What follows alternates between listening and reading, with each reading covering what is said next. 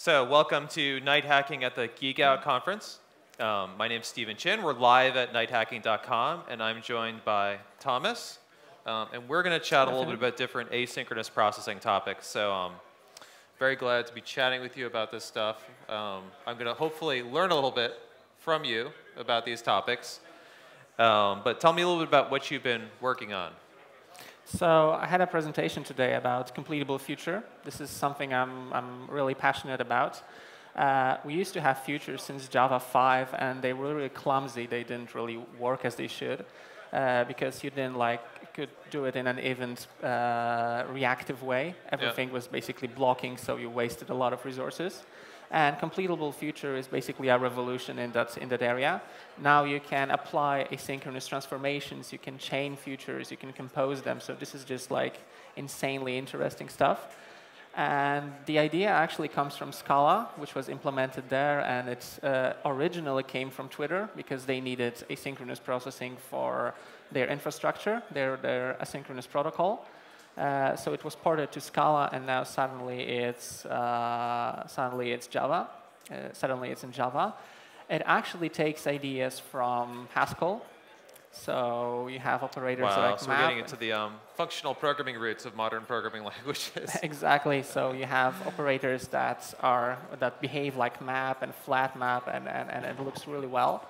So uh, I, I, like, I'm really happy that we have these tools. They are rather complex, so I spent a whole hour just, just looking at the API and, mm -hmm. and describing various methods, because previously Future had just five methods uh, in total, and now it's more than 60, and you really have to understand how to use them, because it's like... Uh, okay, so in a, give me a quick example of where a completable Future would really help you.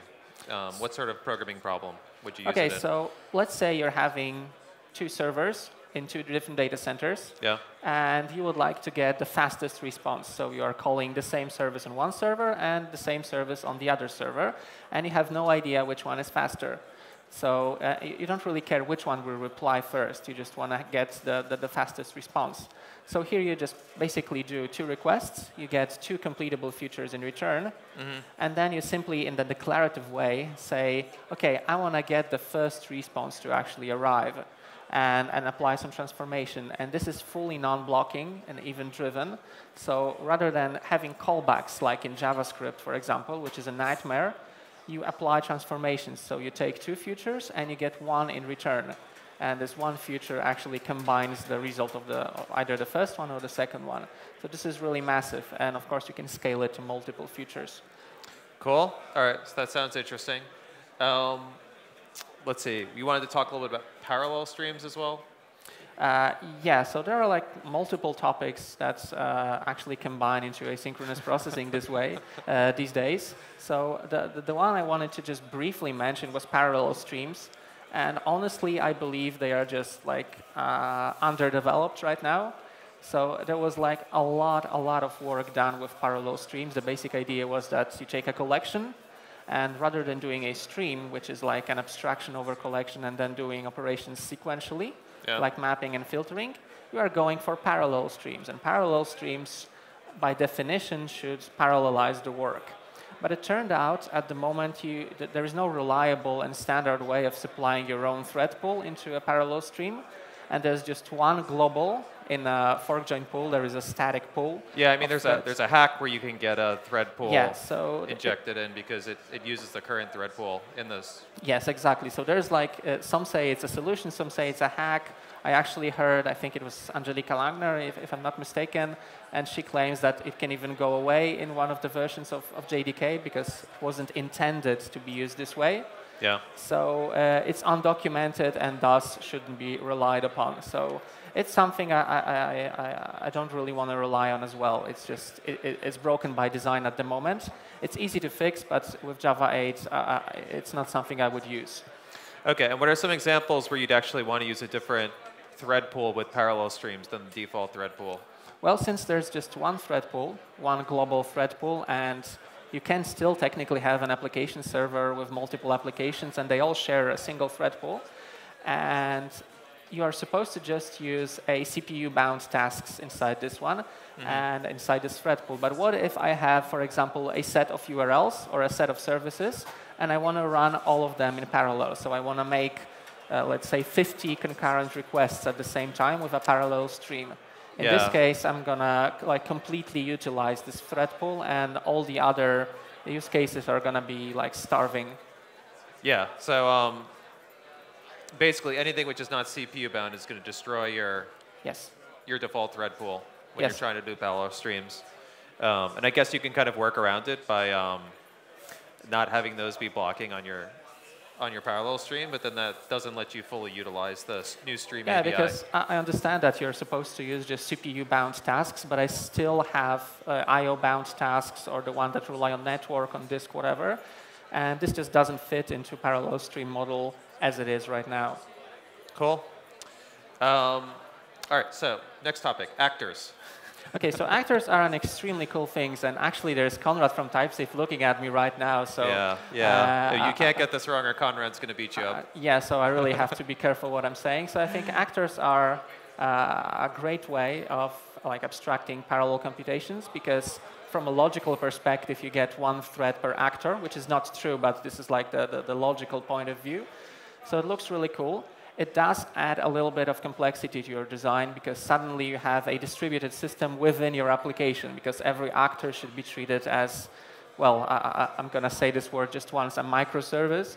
so you have like uh, a lot of communication between actors and the, the Akka team actually advises you that you should not rely on guaranteed delivery between actors even if it's just one JVM. Yeah. So um, you should treat every single actor as a separate process, just as it was with, with Erlang, where the idea was actually born. Because as you know, actors aren't really that, uh, that of a new thing.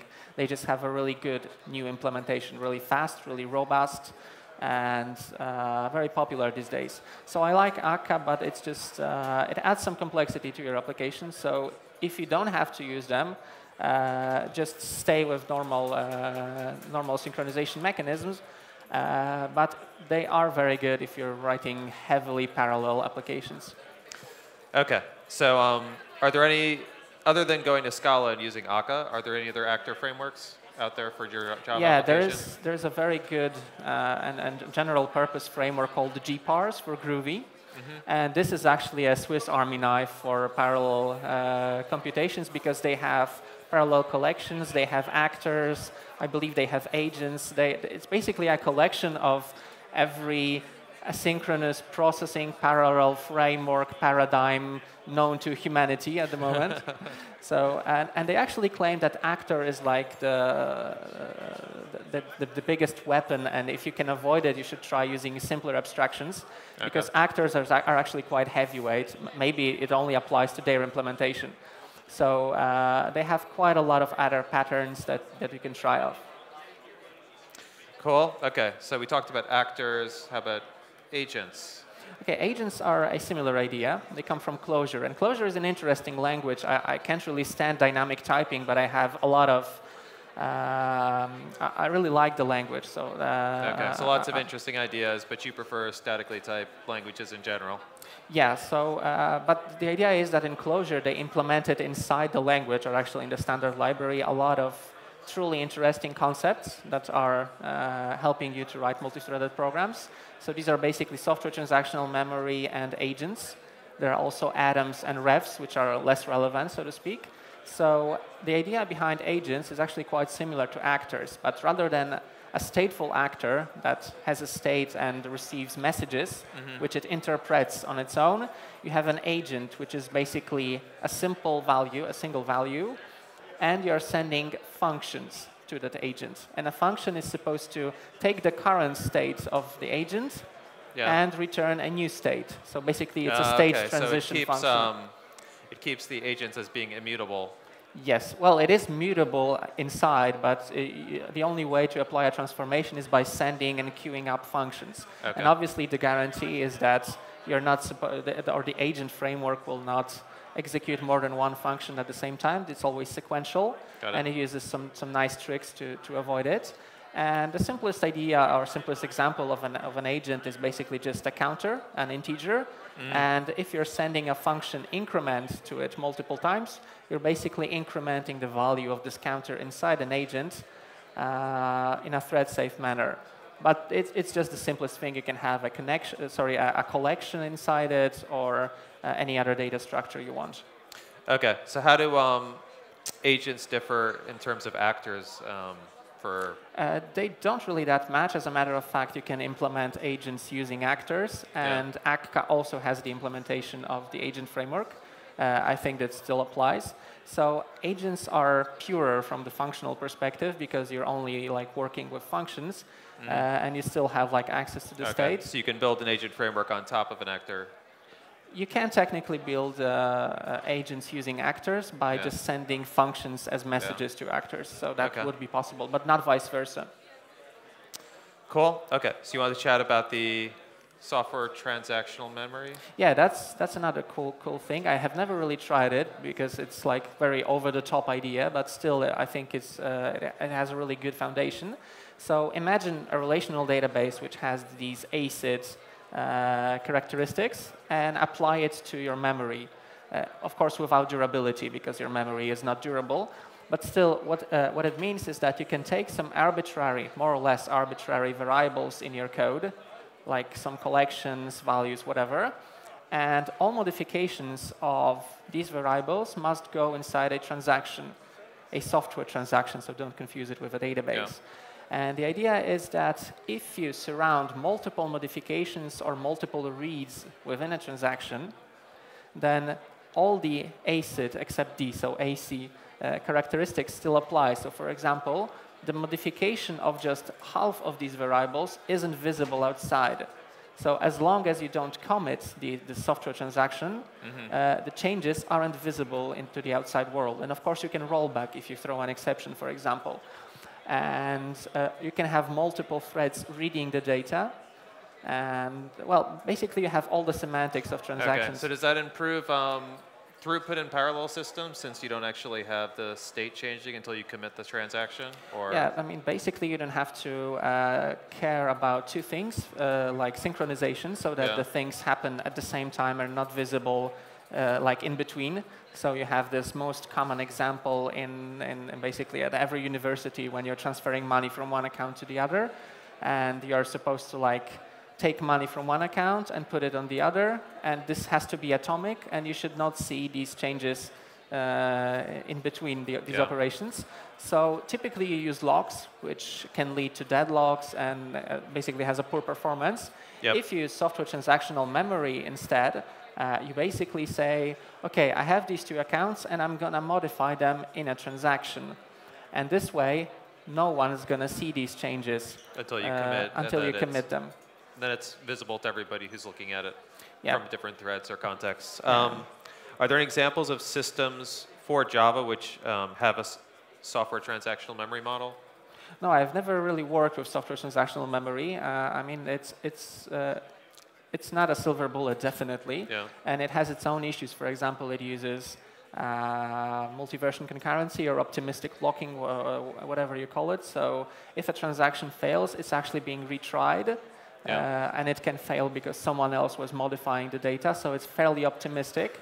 However, it can fail. So you have to be aware of it, that something is being retried, so the functions have to be pure, and suddenly you are stepping into the more academic area.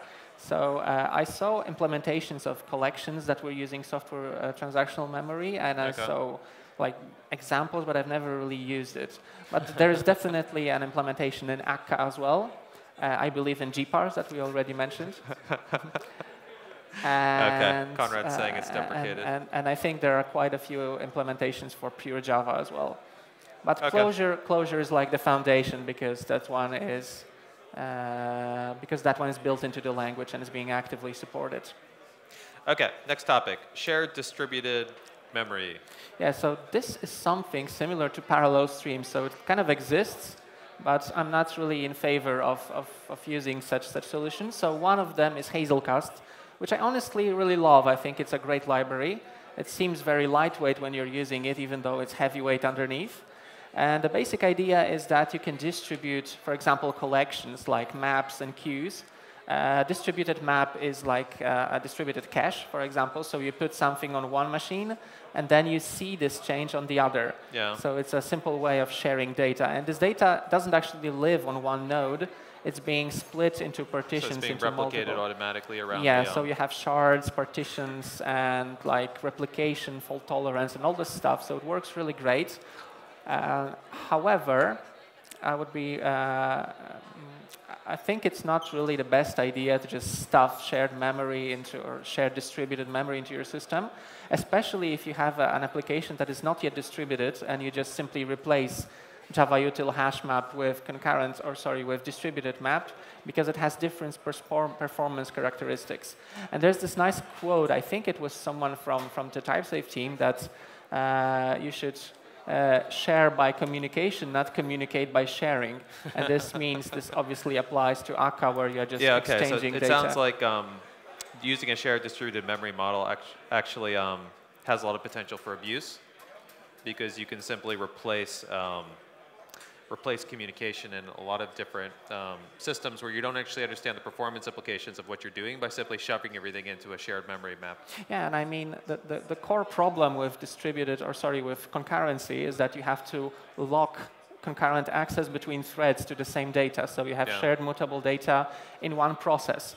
And then you're just spreading this problem into Multiple into multiple processes. So that's really bad. Uh, so it's, it's a valuable tool. It's worth knowing it, but uh, uh, you should be careful because it, it might not work as expected. All right, so down our lightning topics list, remote procedure calls leaky abstraction.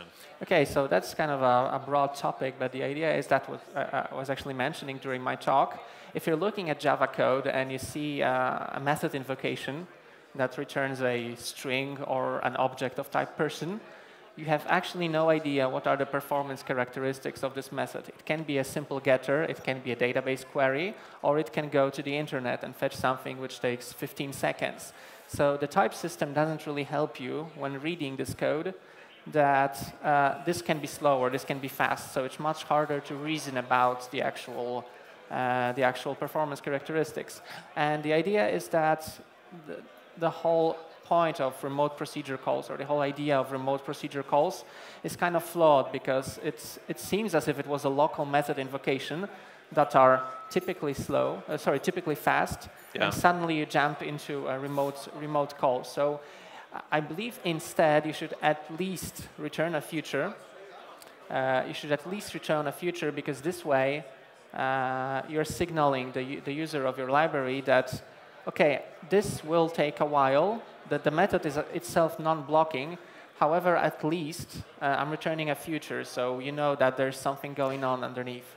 Yeah, okay. So you're much better doing something like a completable future where you, you're getting back um, immediate response, and then you know that you're going to get the response back later, Yes, and as opposed to just pretending it's a local method call and then suffering with um, blocking all of your application without really understanding the implications of it. Yeah, and it actually gets much better because you can parallelize. You can Yeah. have multiple calls, you can combine them, compose them, chain them, pipeline them, and, and so on and so forth.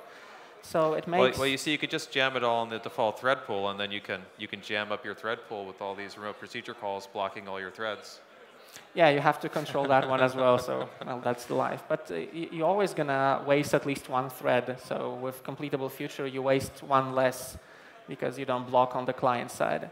Okay, so last topic: um, debugging and monitoring asynchronous code. Yeah, that's a, that's a funny story. I mean, previously or in the past, where you had no multi-threading, or at least you were avoiding it, and uh, everything was just happening in a single thread of execution, uh, there wasn't really such a problem because when you're looking at the logs, you would just get operation one, operation two, operation three, and everything was happening in, in the same context. Yeah. So even if you had a, a multi-threaded server, you still had one request per one thread.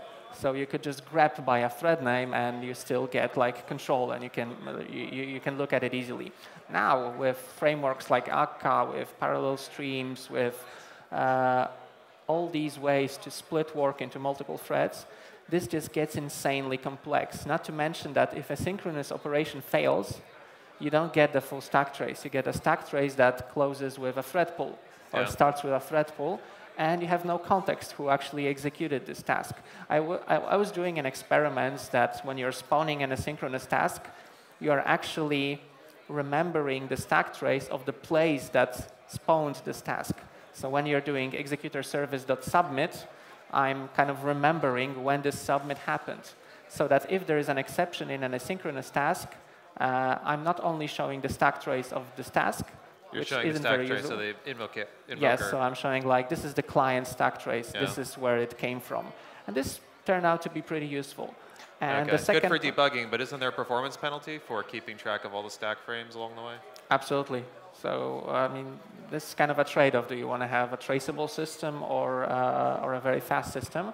And there's no there's no clear solution. And we found that keeping correlation ID, which is basically a unique ID kept across all the all the calls within a single business transaction or a request, turns out to be extremely useful because you generate a UUID in the beginning and then you just pass it through all the layers. And then even if it crosses the boundaries of different systems like microservices, you can still filter it out inside, like, for example, Kibana, a, a tool for, for monitoring logs.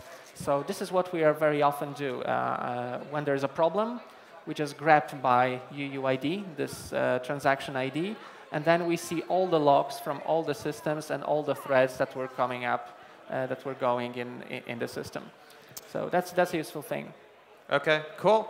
So thanks very much for the brief interview about um, asynchronous processing in Java, and um, I learned a lot. I hope the the folks at GeekOn, Geek Out have learned quite a bit as well. Um, thank you very much for having me here for night hacking interviews, and back over to Simon. Thank you.